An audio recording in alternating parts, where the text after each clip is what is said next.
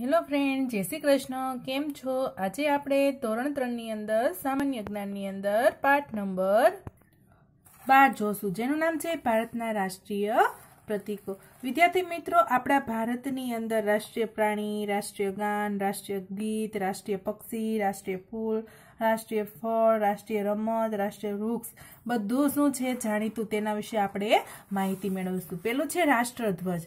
ભારતના રાષ્ટ્રધ્વજમાં ત્રણ રંગોના પટ્ટા. દરેક વિદ્યાર્થી મિત્રોને ખબર જ છે, આપણો રાષ્ટ્રધ્વજ ત્રણ રંગનો છે. જ્યાં એ બતાવ્યો છે, કેસરી, સફેદ અને લીલો.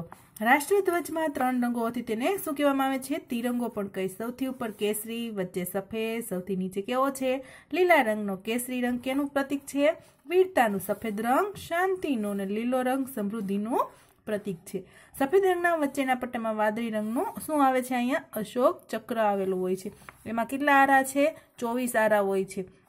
આ ચક્ર પ્રગતિનું પ્રતીક છે. રાષ્ટ્રધ્વજમાં ત્રણેય પટ્ટા એક સરખી પહોળાઈ, લાંબા હોય છે. રાષ્ટ્રધ્વજનો આકાર કેવો છે?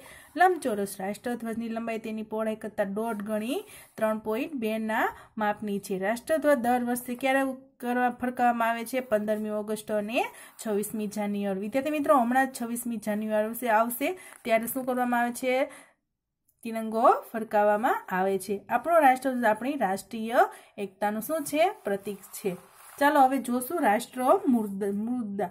ભારતની રાષ્ટ્ર મુદ્દામાં ચાર દિશા તરફના ચાર સિંહ છે. જો એક, બે, ત્રણ અને ચાર.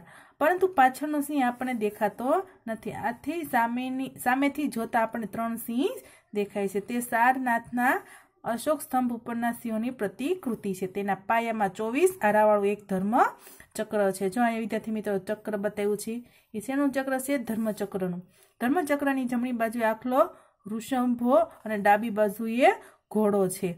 રાષ્ટ્ર મુદ્દાની નીચે સત્યમેવ જયતેલું લખેલું હોય છે. જો જે ભારતનો રાષ્ટ્રીય મુદ્રા લેખ છે. આપણા ચલણ સિક્કા તથા નોટોમાં રાષ્ટ્ર મુદ્દા જોમ. વિદ્યાર્થી મિત્રો, કોઈ પણ નોટ હોય, દસની, વીસની, પચાસની, સોની, પાંચસોની, બસોની કે બે હજારની, તેની અંદર શું આવેલું છે? આ ચલણની અંદર શું હોય છે? એનું ચિત્ર જોવા મળે છે.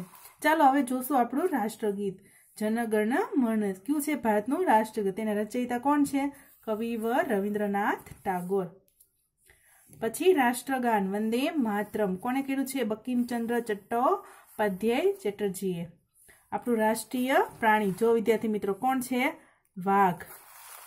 રાષ્ટ્રીય પક્ષી. શું છે? મોર. ત્યાર પછી રાષ્ટ્રીય ફૂલ. શું છે? કમળ. રાષ્ટ્રીય ફળ. શું છે? કેરી. રાષ્ટ્રીય વૃક્ષ કયું છે? વડ. રાષ્ટ્રીય રમત કઈ છે આપણે વિદ્યાર્થી મિત્રો?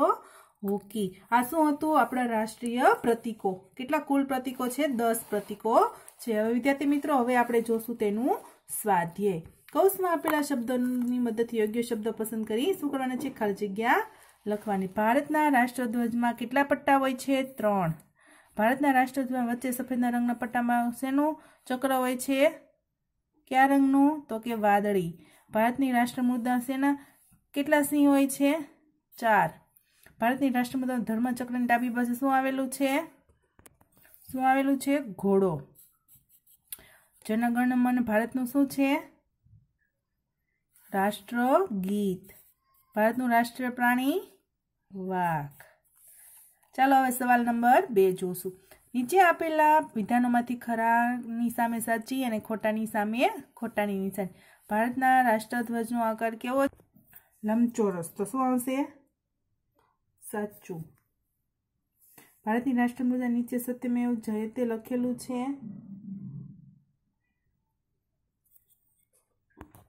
સોરી, રાષ્ટ્રધ્વજ દર વર્ષે પંદરમી જાન્યુઆરી અને છવ્વીસમી ઓગસ્ટે ફરકવામાં આવે છે? નહીં. ભારતની રાષ્ટ્રમુદ્રા નીચે સત્યમેવ જયતે લખેલું છે. સાચું. ભારતની રાષ્ટ્રમુદ્રાના પાયામાં ચૌદ આરાવાળું ધર્મચક્ર છે. ખોટું. ક્રિકેટ ભારતની રામ સોરી, ભારતની રાષ્ટ્રીય રમત છે. ના, ખોટું. કમળ ભારતનું રાષ્ટ્રીય ફૂલ છે. સાચું.